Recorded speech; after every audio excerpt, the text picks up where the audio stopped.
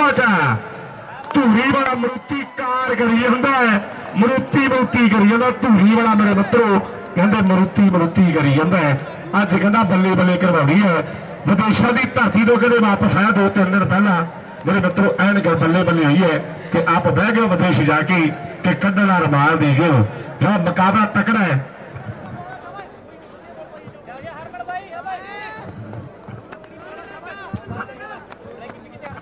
ਇਹ ਮੁਕਾਬਲਾ ਤਕੜਾ ਹੈ ਕਹਿੰਦੇ ਮੇਰੇ ਮਿੱਤਰੋ ਚਾਰ ਮਾਰਾਂ ਚ 11 ਗੋਲਡੀ ਨੇ ਸਾਰਾ ਮੈਚ ਕੱਢਤਾ ਸੀ ਪਰ ਕੱਢ ਕੇ ਕਿਹੜੇ ਪਟਾਲਵਾਂ ਨੂੰ ਦਿੱਤਾ ਸੀ? ਹੁਣ ਘਰਮਨ ਹੈ।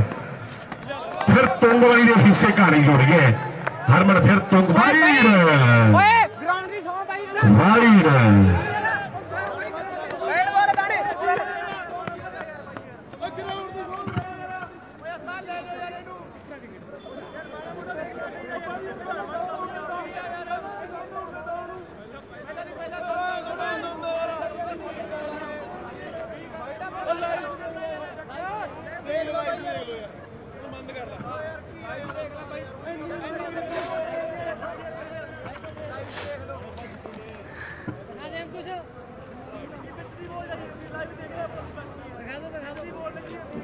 ਬੰਦ ਕਰਦੇ ਆ ਵੀਰੇ।